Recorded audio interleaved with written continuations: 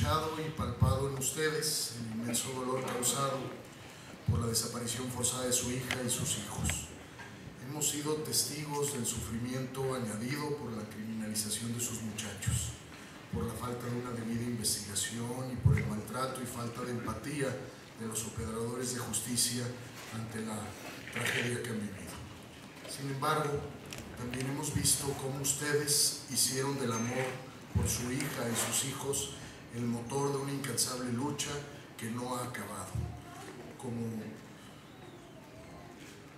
como, como sus hijos, como motor incansable de esta lucha. Como sus testimonios sacaron a la luz la crisis de desapariciones y corrupción en Veracruz. Cómo su fuerza impulsó a muchas más familias a denunciar la ausencia forzada de sus seres queridos. Ustedes son ejemplo de lo mejor de este país y sin duda de la reserva moral de ese gran estado de Veracruz. A continuación quisiera yo invitar al gobernador constitucional de Veracruz para que nos exprese su acto reconocimiento y disculpa pública. Por favor, gobernador.